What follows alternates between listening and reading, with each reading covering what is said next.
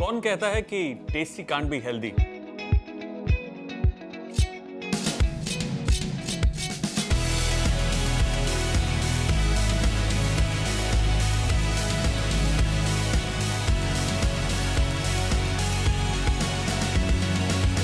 मैं बनाऊँगा लाजवाब डिशेस आपके लिए जो हैं बहुत हेल्दी भी।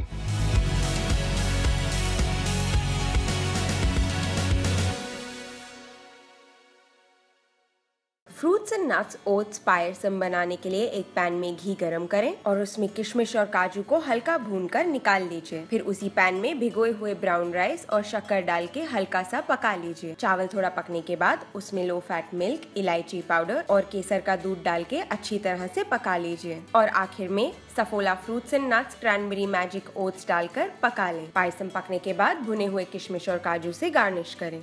Safola Fit Foodie Meter is developed in consultation with the Indian Dietetic Association to help you make informed and healthy food choices. ये मीटर डिश की न्यूट्रिशन और हेल्थ को सिंप्लीफाई करता है। डिश के टोटल हेल्थ स्कोर के साथ साथ हमें बताता है कि हमारी डिश आमतौर पे बनने वाली डिश से कितनी ज़्यादा हेल्दी है।